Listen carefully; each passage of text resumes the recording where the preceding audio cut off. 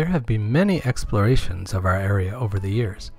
In 1608, the French settled Quebec, the first French city to be established in North America.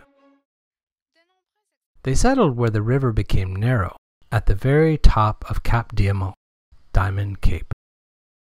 This place helped the French control access to the rivers that ran deep inland as far as the Great Lakes. All along the St. Lawrence River, there was fertile land for farming. We call this territory the St. Lawrence Lowlands because it is not mountainous and runs right down to the water. The French who stayed in this area had to face very cold winters, the likes of which they had never experienced in France.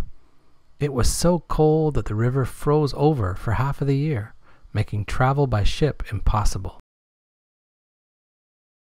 This meant that New France had no contact with Europe during the winter.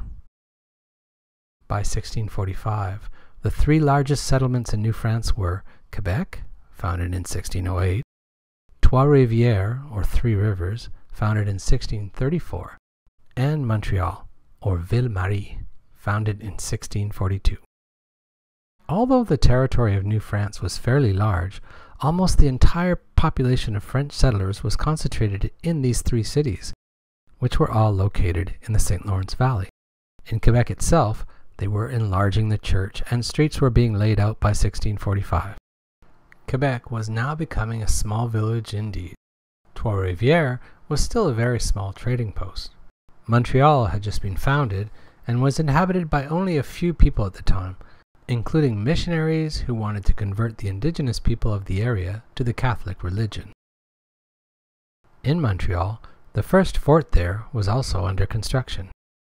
Remember too that in New France, many of the settlers were there to trade furs with locals there and up the river. Quebec City, Trois-Rivières, and Montreal are located in the lowlands of the St. Lawrence, near waterways that also help them transport things back to Europe.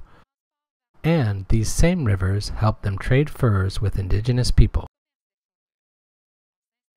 Afterwards, people continued to settle in these areas because, as mentioned earlier, the land was fertile enough for at least some farming.